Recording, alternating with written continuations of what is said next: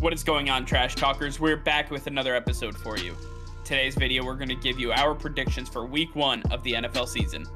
All that and much more coming your way right now!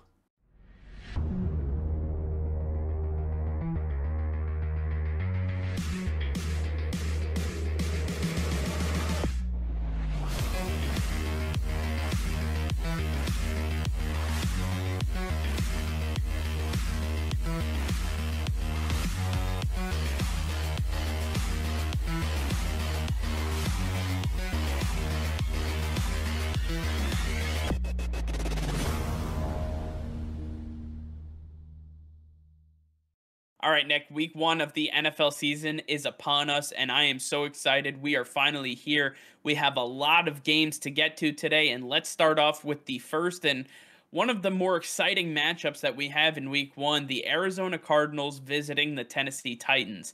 Now, the Arizona Cardinals made vast improvements this offseason, getting players like JJ Watt and AJ Green, really filling out this roster and getting some of the premier talent that the draft had to offer, including Zaven Collins to add next to Isaiah Simmons with all of the additions that they made, Kyler Murray and Cliff Kingsbury understand that they are in a unique position to not only compete for their division, but compete for the NFC. They have so much talent on both sides of the roster that I believe that they are going to be in an incredible position to really challenge the best teams in the NFL. And from what I've seen so far, I think they have exactly that taking a look at kind of where they were last year, they lacked on the defensive side of the ball. That's why they dropped a last second game to the New England Patriots and lost to the New York Jets. They they had to wipe their memory clean of that. Bringing in a guy like JJ Watt is going to give them a proven winner and I'm really excited for that. Now, on the flip side, we have the Tennessee Titans, who also made some great improvements this offseason. As we all know, bringing in Julio Jones, but on the defensive side of the ball, they brought in Bud Dupree from the Pittsburgh Steelers. They drafted one of the best cornerbacks in the draft, Caleb Farley, a guy who dropped in the draft because of some injury problems, but he's fully healthy and ready to go. And he is the number one corner on this Tennessee Titans team. This offense, running by Derrick Henry, it is going to be an absolute powerhouse. Now, with Julio Jones and A.J. Brown as the two wide receiver options for Ryan Tannehill, it's going to be a very explosive offense. On the defense, the edge did get a little bit better with the addition of Bud Dupree. They had Jadeveon Clowney last year, but he really didn't do much. Bud Dupree is a proven edge player, and he is going to set that edge for them. Caleb Farley is going to be that mirrored cornerback for them, and Janoris Jenkins at that number two cornerback position. He still has some fire underneath him, and this team is ready to go. Mike Vrabel is ready to get this defense back to where he wants it to be. And I think at the end of the day, the Tennessee Titans have a very well rounded team. It's just all about how well that pass rush can get to the Arizona Cardinals. As for this matchup, the Arizona Cardinals will be heading to the Tennessee Titans. And I believe that the Tennessee Titans have a lot to prove, especially on the defensive side of the ball. And with the Arizona and with the Arizona Cardinals traveling across the country, I believe that the Titans have an advantage in a one o'clock matchup, one o'clock Eastern, that is. The Cardinals are not used to this time change, and I believe that the Titans are going to be reared up and ready to go. I believe that Derrick Henry is going to be able to control the ball on the ground, and we'll get to see a little bit of Julio Jones as well. Nonetheless, I have the Tennessee Titans winning this matchup 24 17. Next up, we have the Jacksonville Jaguars visiting the Houston Texans in a divisional matchup. The Jacksonville Jaguars made some interesting moves this offseason, drafting Trevor Lawrence first overall, hiring Urban Meyer to his first NFL coaching experience, and Nonetheless, the Jacksonville Jaguars decided to make a plethora of moves with the, the amount of draft capital and cap space that they had at their disposal. They were able to bring in very talented players on both sides of the ball. And when you take a look at this roster, I believe that the Jaguars are primed to do much better than they were last year. I'm excited for what they have to offer. As far as the Houston Texans, they got worse they really got worse. They lost Deshaun Watson. That is the key right there. They lost Deshaun Watson, but then they lost JJ Watt and they lost Will Fuller. A lot of their powerhouse guys are not there this season. They brought in a lot of new guys that Nick Caserio, the new general manager, is familiar with, but that does not mean that they're going to be a good team. And under new head coach Dave Culley, I don't think that this team is headed in the right direction. They have not made any splash moves to bring this team up from where they were. And I think that the Jacksonville Jaguars are going to have their number. In fact, I have the Jacksonville Jaguars beating the Houston Texans 24 to 10, in which Trevor Lawrence sets the tone for his career and proves just why he was the number one overall pick in this year's draft. Next up, we have the Los Angeles Chargers visiting the Washington football team. This is going to be one of those bigger matchups that we talked about. Justin Herbert leading the Chargers in his second season with Keenan Allen and Mike Williams as his wide receivers one and two he did have a change at the tight end position. Hunter Henry is now in New England, and insert Jared Cook, the longtime professional tight end who has done incredible things in New Orleans. And outside with the rest of the league, I believe that the Chargers offense is not going to skip a beat. They are on pace to do even better than they did in Justin Herbert's rookie season, and he set a rookie record for passing yards. I believe that the Chargers are primed for greatness this week. And for the Washington football team, you want to talk about additions. I've got Ryan Fitzpatrick, Curtis Samuel, Adam Humphries, and that's just on the offensive side of the ball. You've got some big players that they have added, and this team is for real this time. They're not only ready to lead this division, but they're ready to take on the rest of the NFC, and it all starts in this matchup. The Washington football defense is going to be more fierce than ever, and when you look at this offense, they now have the points to keep up with the defense. This is going to be one terrifying team, and I'm really looking forward to see just how good Chase Young is in his second year. As for the outcome of this matchup, I have the Washington football team coming out on top in a very close matchup. I believe that this will be a 28 to 24 victory for the Washington football team over the Los Angeles Chargers. Next up, we have the Minnesota Vikings visiting the Cincinnati Bengals, in which I expect to be an absolute onslaught. The Minnesota Vikings got so much better this offseason just by getting healthier. Eric Kendricks, Anthony Barr, Danielle Hunter, all got so much healthier and, and are ready to really take the league by storm once again. On top of the fact that they added Patrick Peterson and, and got so much more talent on the back end of this defense. As for the flip side of the coin, Justin Jefferson set the rookie receiving record last year, and I believe that he is ready to topple that. When he got off to a slow start last season, he understands the nuances of the game now. I think he is going to be one of those menaces that we see for a long time to come. I love what the Vikings have. And for the Cincinnati Bengals, they made some nice additions with Ja'Marr Chase being their top pick in this year's draft to go along with guys like Chidobe Awuzie and Trey Hendrickson that they added on the defensive side of the ball. Joe Burrow is back fully and ready to go. He is ready to take on this league just as good as he was last year. And I think with the addition of one of his favorite targets from LSU, he is going to be just as good as he was last year. He may even be better. But in week one, I think that he's got a lot in store for for him with the Minnesota Vikings defense. I think this is going to be a little too much. As I said, Ja'Marr Chase was their option. They could have gone offensive line, but they didn't. I think this edge is going to be a little too much for the Cincinnati Bengals offensive line and the defense. Look, front seven got a lot stronger, but the secondary, can they keep up with Adam Thielen and Justin Jefferson? It's going to be very tough and something to watch out for, but I just don't think they have it. And for those reasons, I have the Minnesota Vikings winning this game 24 to 17, edging out the Cincinnati Bengals in what's going to be a very exciting game. Next up, we have the New York Jets visiting the Carolina Panthers, where Sam Darnold gets to host his former team.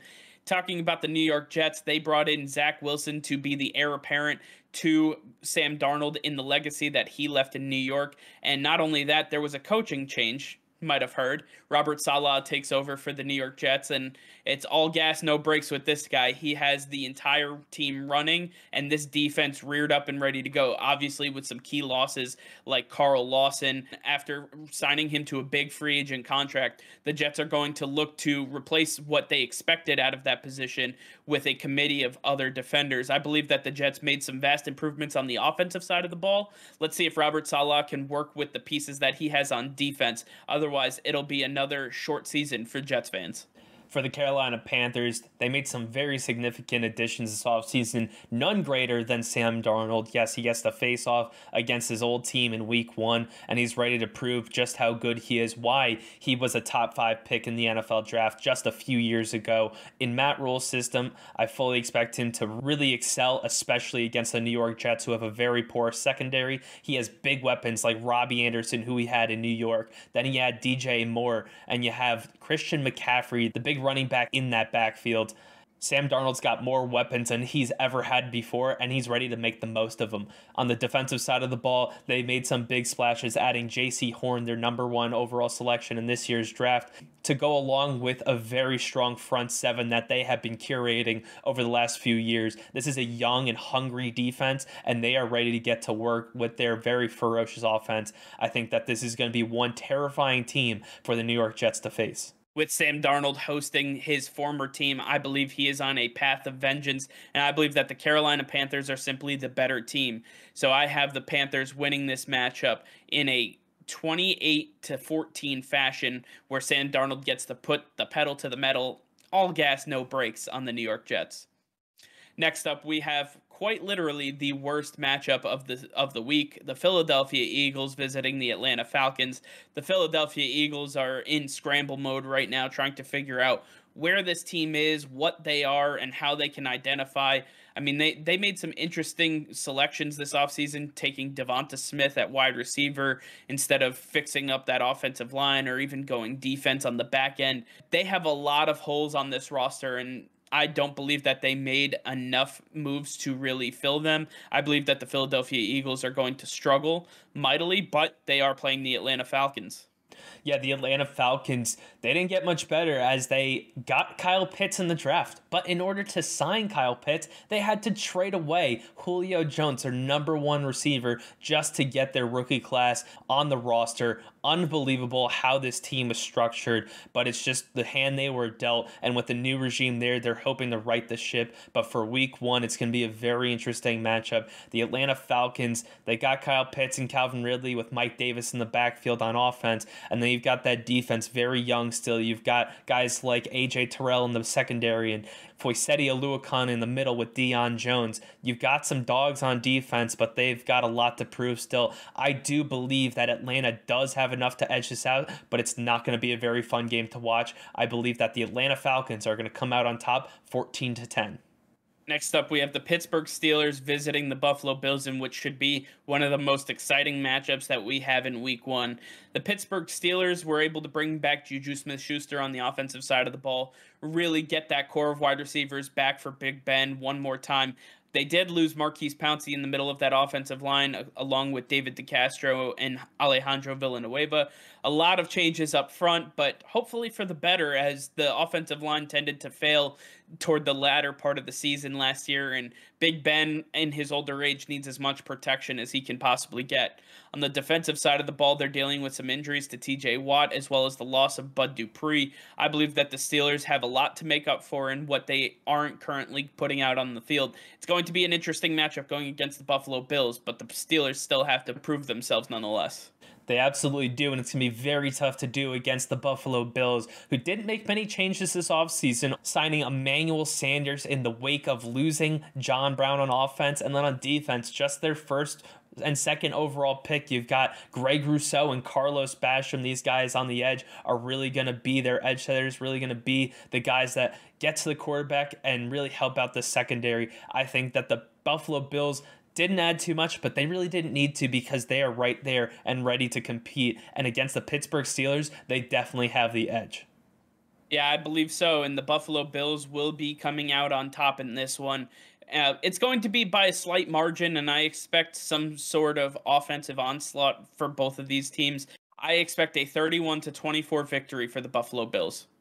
Next up, we have the San Francisco 49ers visiting the Detroit Lions. The San Francisco 49ers are in the midst of a quarterback transition with the current quarterback still being Jimmy Garoppolo coming back from injury, but you got Trey Lance waiting right in the shadows, and he's not going to be waiting too long. Jimmy Garoppolo is playing on borrowed time, and this is going to be an interesting way to see how Kyle Shanahan handles the quarterback situation moving forward. On defense, they lost players like Richard Sherman and Solomon Thomas, so there is a lot there to be made up. Hopefully, Jason Verrett can stay healthy, but nonetheless, I believe the San Francisco 49ers have a lot to make up for, and it's going to be interesting to see how they can handle all of this controversy Hey, but listen, the 49ers may have a lot to make up for, but they are facing the Detroit Lions, arguably the worst team in the NFL this week in week one. And when you look at this roster, Jared Goff in his first season with the Detroit Lions under new head coach Dan Campbell, then you add their number one receiver,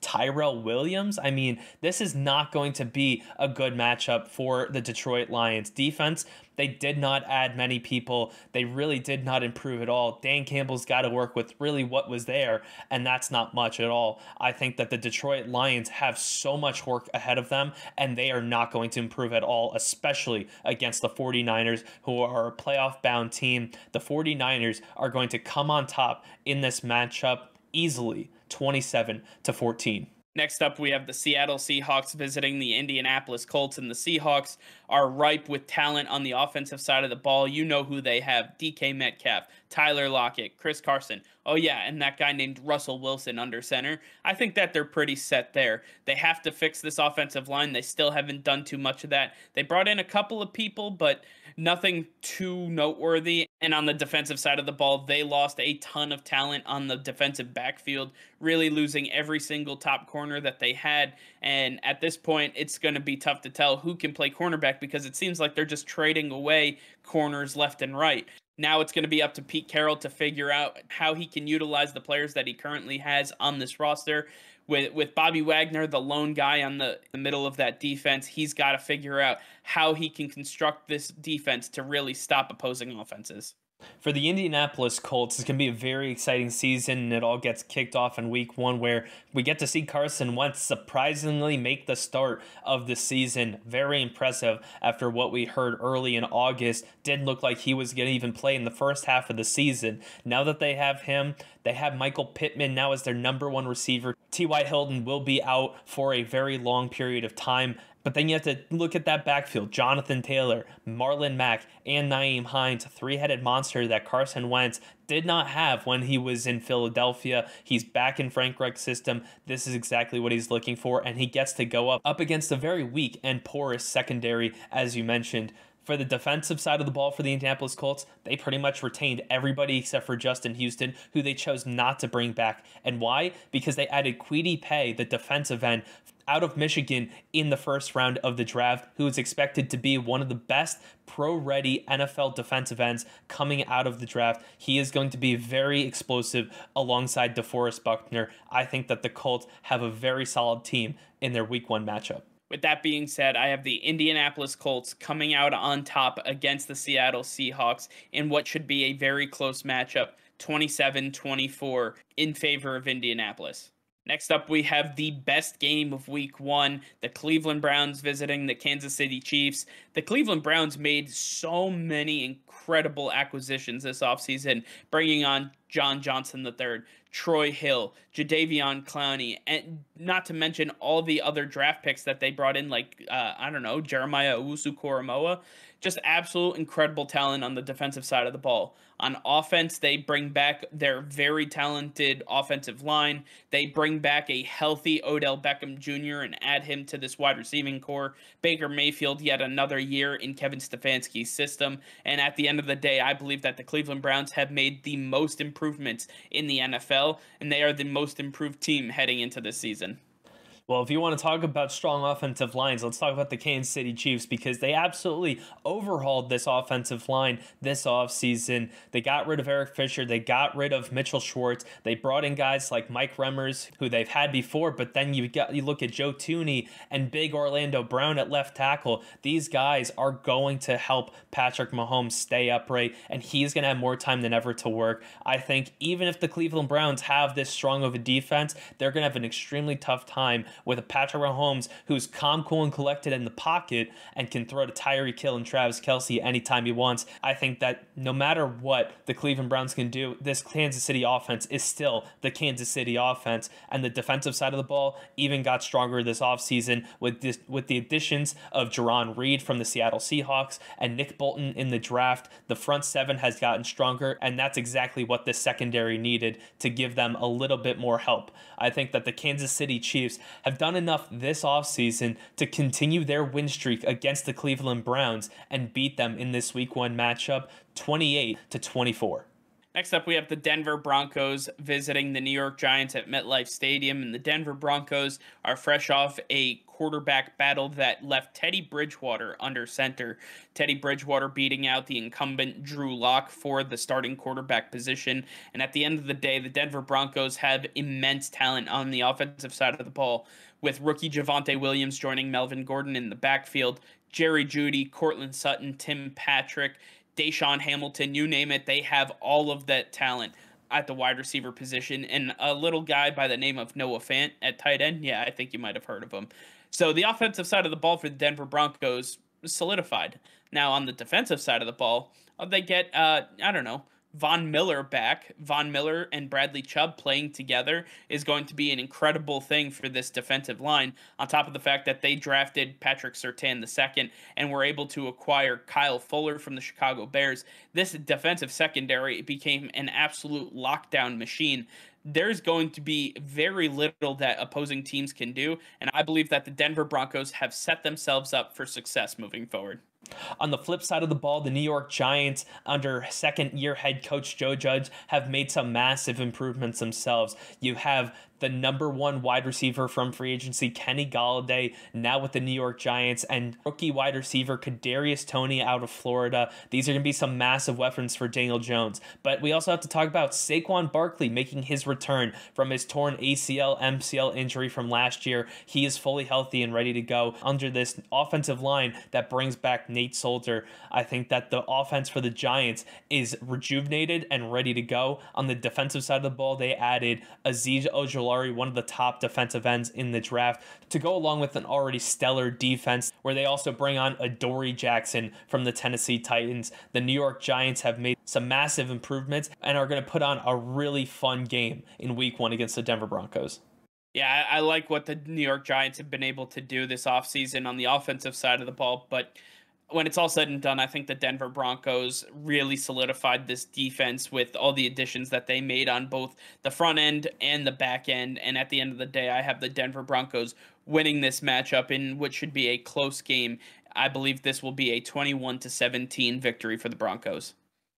Next up, we have the Green Bay Packers versus the New Orleans Saints. The Green Bay Packers finally got some resolve at their quarterback position with Aaron Rodgers coming back for what seems to be his final season with the Packers. And he also brought Davante Adams, who was also holding out of training camp. Now with Davante Adams and Aaron Rodgers with the Green Bay Packers ready for this season. It seems like the Packers are ready to pick up where they left off last year. I believe that the Packers did not make too many additions or subtractions that are going to make or break this team as they have been from the last couple of years. I believe the Green Bay Packers are still primed for success, and I like to see what they can do against the New Orleans Saints. Yeah, I think you're right. The Green Bay Packers are looking pretty scary, and that's why the New Orleans Saints are continuing to make moves. As we just learned, Bradley Roby from the Houston Texans was just traded to the New Orleans Saints to now go alongside Marshon Lattimore. It's going to be very difficult for the wide receivers of the Green Bay Packers to now stand with the secondary. As we've seen throughout preseason, this Saints defense has not changed too much, and they are still as ferocious as ever. It's all about this offense. Can new quarterback Jameis Winston f- take full control of this offense with his lackluster weapons that star Marquez Callaway, the second year wide receiver. Alvin Kamara is now only real option at running back for them to work with. They have very few offensive weapons overall, and it's going to be a very tough matchup for the New Orleans Saints this week. That's why I have the Green Bay Packers taking this game on the road against the Saints 30 to 21. Next up, we have our favorite matchup of the week the Miami Dolphins visiting the New England Patriots, the Alabama Bowl, if you will. The Miami Dolphins bring bring in Tua Tagovailoa, give him the starting quarterback position all to his lonesome. Listen, Brian Flores made a huge mistake last year, continuously bringing in Ryan Fitzpatrick to clean up the mess that Tua was making every single game and letting Ryan Fitzpatrick close out games where Tua was not getting the experience that he needed. I believe now with the moves that they made to acquire Will Fuller and get Jaylen Waddle in the draft, this offense is going to be more potent. Tua Tagovailoa has talented receivers that he can rely on. Mike Gesicki is still at tight end, and I believe that Myles Gaskin is going to lead this backfield to greatness. On the defensive side of the ball, Brian Flores knows exactly what he's doing, retaining most of his talent, getting Adam Butler from the New England Patriots and trading defensive tackles, a couple outside linebackers here and there. Overall, I believe that the Miami Dolphins are still primed for success there. I believe Byron Jones and Xavier Howard are going to be incredible outside lockdown corners. And at the end of the day, the Miami Dolphins have a strong all around team. For the New England Patriots, they are much improved themselves adding Mac Jones in the draft and having him as their day one starter over former New England Patriots quarterback Cam Newton. Now, with Mac Jones at the helm, this is going to be one dynamic offense, especially with the addition of this two tight end monster, Jonnu Smith and Hunter Henry. Now, with Mac Jones at the helm, you, you're going to see this offense open wide open, just like it was under Tom Brady, and I think even more so. Mac Jones is the full package and can do a lot more than what meets the eye. I fully expect this offense to be more dynamic than we've seen in a very long time. And it's going to be very tough for the Miami Dolphins. For the defensive side of the ball, Tua better watch out because this front seven is brand new, something he has never seen before. And it stars Matthew Judon and Dont'a Hightower in the middle of the field with his former teammate Davon Godchaux and Josh Uche up front. This is going to be one terrible front seven for them to face in week one to go along with JC Jackson and Devin McCourty in the secondary. I honestly don't think that this is going to be a very good game for Tua and the Miami Dolphins. Yeah, I don't believe so either. I think the New England Patriots will have their number, and you know that Bill Belichick is going to bring the heat against Tua Tagovailoa with no Ryan Fitzpatrick to bail him out. I believe that when it's all said and done, the New England Patriots will come out on top, and this is going to be a 28 to 17 victory for the Patriots. For our Sunday night football matchup, we have the Chicago Bears visiting the Los Angeles Rams. The Chicago Bears had what seemed to be a quarterback battle brewing in camp, but but Matt Nagy put the stamp on that one as he named Andy Dalton the starting quarterback before he even got to see Justin Fields throw the ball. And he doubled down on that fact, saying that Andy Dalton was going to start the season and he would reevaluate as the season progressed. Now, with Andy Dalton under center, some key losses along this offensive line and at the wide receiver position. I believe that Darnell Mooney and Allen Robinson are going to have to lead this team to victory with Andy Dalton under center. On the defensive side of the ball, the loss of Kyle Fuller is going to be great for this defense. You have Khalil Mack, you still have Akiem Hicks, and you still have Roquan Smith. But outside of those guys, there is a lacking on the back end of this defense, and I think the Chicago Bears are going to be schooled on what a cornerback really can do for this defense. You want to talk about additions, talk about this Rams team. Matthew Stafford, DeSean Jackson, Sony Michel. That's just on the offensive side of the ball in Sean McVay's system. On the defensive side of the ball, it's not so pretty. With the loss of John Johnson and Troy Hill, it's going to be very interesting to see how this defense is able to stay the number one defense in the league if they can. But they're going to have a very nice time as they face the Chicago Bears, who have so many holes and are run by Matt Nagy, who is one of the worst coaches in the NFL right now. I think that Sean McVay and the Los Angeles Rams Rams are going to absolutely steamroll the Chicago Bears in this matchup. I have the Los Angeles Rams coming out on top 21 to 6. And finally, for our Monday night week one matchup, we have the Baltimore Ravens visiting the Las Vegas Raiders. And at this point, you know what the deal is. Lamar Jackson is he a great quarterback? Is he just an athlete? Only time can tell, but they did make some key additions on this offense to really showcase that skill set. Adding players like Sammy Watkins, Rashod Bateman, and Tylan Wallace to go along with Marquise Hollywood Brown and Mark Andrews at the tight end position. I believe that this offense was destined for greatness, although they did lose J.K. Dobbins to a torn ACL, and now being replaced by Gus Edwards or possibly Le'Veon Bell, who they just recently signed to their practice squad. I believe that the Baltimore Ravens are gearing up for what should be one of their better seasons in recent years. On the defensive side of the ball, they did lose Pernell McPhee, Yannick Ngakoue, Matthew Judon, and, and they honestly didn't have an answer for all of that. So at the end of the day, the pass rush for this defense really is going to be lacking, but they still have the cornerbacks to lock up any wide receiver trio or even quad if you really wanted to go that far. So I believe that the Baltimore Ravens are going to be just fine this year, but they're going to have to manufacture more pressure against quarterbacks than they had to in the past the Baltimore Ravens have their work cut out for them as they face the Las Vegas Raiders, who have had some nice additions this offseason as well. On the offensive side of the ball, adding Kenyan Drake as the one two punch with Josh Jacobs.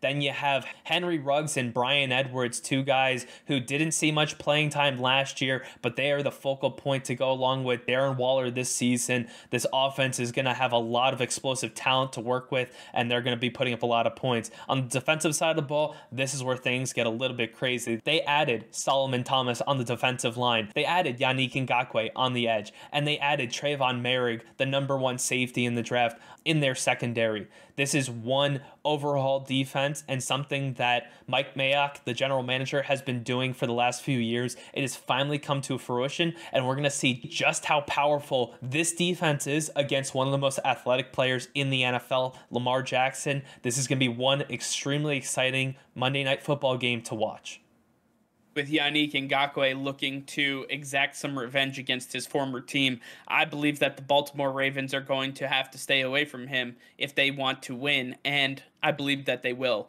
I believe the Baltimore Ravens are just a more talented team than the Las Vegas Raiders currently are, and with the way this team is structured, I believe that they have what it takes to beat most teams in the NFL. That being said, the Baltimore Ravens will come out on top in this one, 28 to 17. All right, well, that is all of your week one matchups. Let us know in the comments down below if you agree with our picks, which picks you don't agree with, and I want to hear from the trash talkers. Let us know in the comments. All right, well, that's going to be all for now. Thank you all for watching. Be sure to like this video and subscribe to the channel if you haven't already. Hit that notification bell. We go live every single day. That'll be all. Peace and love.